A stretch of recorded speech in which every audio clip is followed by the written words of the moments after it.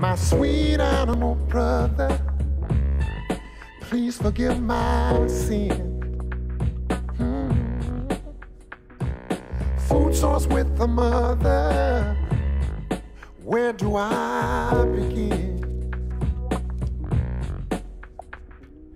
To explain how my heart toils, justifying that you boil. Leftovers I wrap in foil. America burns too much oil. Gotta stay focused. When I make my dirty dollar, I have heard the sound Wait for it. It's heavy. of a crab who hisses and hollers as he's drowning down. That crab fritter you see frying was once a critter I see dying. I wanna be a quitter and I'm sure trying, cause I'm a cook who can't stop crying. Mm. I'm not saying what to eat, have a shish kebab or piggy feet, but honor he who feels the heat. Please respect the meat.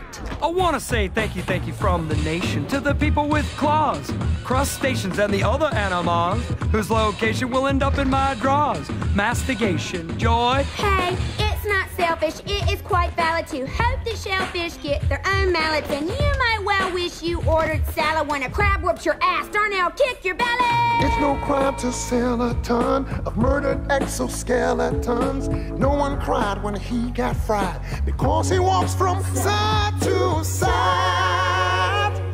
Chicka, chicka, chicka, chicka, chicka, pinch. Chicka, chicka, chicka, chicka, chicka, pinch. Baby, I tried to stay away from you. You know, tried seeing other foods. Broccoli, tofu, I even dipped in butter.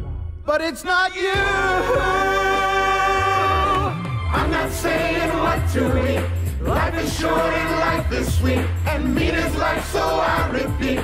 Please respect the meat. Digest slowly, Please respect the meat. even in Crete. Please